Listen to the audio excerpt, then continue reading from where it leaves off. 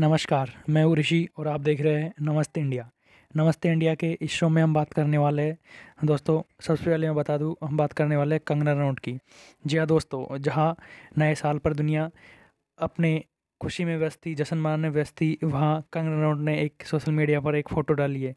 इसमें उन्होंने अपने सैंडल्स का, जखीरा सैंडल्स की दुकान है, वो दिखाई है। जी हाँ दोस्तों, एक सन पर अजीब सा लगता है कि उन्होंने अपने नए वर्ष नव नव वर्ष पर, सोशल मीडिया पर इन्होंने एक सैंडल्स का अपनी जखीरा दिखाया है। जी हाँ दोस्तों, हम बात कर रहे हैं कंगना नोट की चप्पलों की दुकान की। चलो आइए देखते हैं वो फ़ोटो इनकी चप्पलों की दुकान की।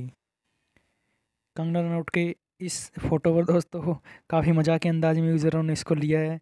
तो एक्ट्रेस ने अपनी सोशल मीडिया पोस्ट में लिखा है कि जब से मैं घर गई, घर आई हूँ, तब से सिर्फ़ साफ़ सफ़ाई और सफ़ाई कर ही कर रही हूँ। कहते हैं, आपके पास जो है, वह आपका भी मालिक है। कई दिनों से लगातार सफ़ाई के बाद ऐसा लग रहा है जैसे मैं अपनी ही संपत्ति गुलाम हूँ। उम्मीद करती हूँ, आज सफ़ाई पूरी हो जाएगी और 2021 में रानी की तरह मैं प्रवेश करूँगी। दोस्तों, उनकी इस चप्पल की दुकान को देखकर लोगों ने क्या कमेंट किया? दोस्तों, मैं आपको पढ़कर सुना दूँ, बड़ा इंटरेस्टिंग कमेंट लोगों ने इनकी पोस्ट को लेकर किया है। दोस्तों, एक यूज़र ने लिखा है कि बॉलीवुड वालों बच के रहना चप्पल बहुत ज़्यादा है।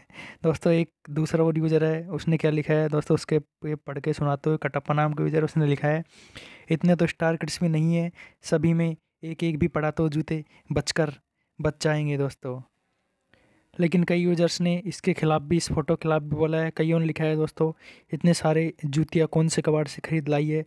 रज्जो कंगना रनावट अब मैं अगली खबर का रुख कर लेता हूँ दोस्तों, और ये खबर है दोस्तों बिग बॉस से। जी हाँ दोस्तों, ये बिग बॉस की खबर है दोस्तों। पिछले डायमंड से सलमान खान का जो शो बिग बॉस शो है ये ड्रामा से भरपूर एपिसोड के साथ दर्शकों का मनोरंजन कर रहा है। भले ही रियलिटी शो टीआरपी के मामले में जादू नहीं चला सका अब की बार, लेकिन सोशल मीडिया यूज़र्स पर इसकी काफ़ी चर्चा है। छः नए चैलेंजर्स की वाइल्ड कार्ड एंट्री शो में तड़का लगाने में कामयाब रही, जो पिछले कई हफ्तों से मिसिंग था।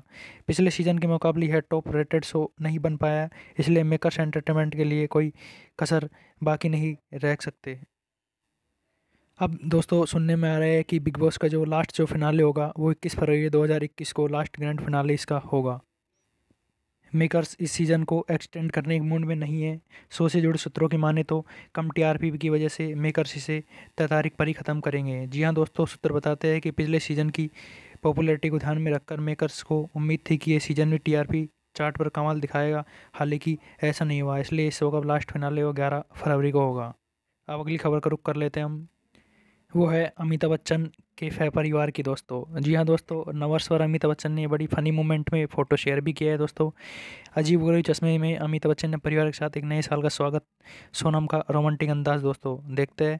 दोस्तों, बॉलीवुड सेलेब्स ने नए साल 2021 के स्वागत अपने अपने अंदाज में किया है। कोविड नाइन्टीन महामारी के प्रतिबंधों के चलते ज़्यादातर सिलेबस घर में ही रहे, घर में ही उन्होंने जश्न मनाया दोस्तों, हाल ही की उन्होंने अपने फैमिली मेंबर्स के साथ मिलकर घर के अंदर ही नए साल की पूरी संध्या को खास मनाया। अमिताभ बच्चन ने घर में ही रहकर सेलिब्रेशन की एक फ़नी सेल्फी सोशल मीडिया पर शेयर किए, जिसमें टॉप पर हैप्पी न्यू ईयर बैंड वाली एक चमकदार टोपी और अजीब गरीब चश्मा पहने हुए है।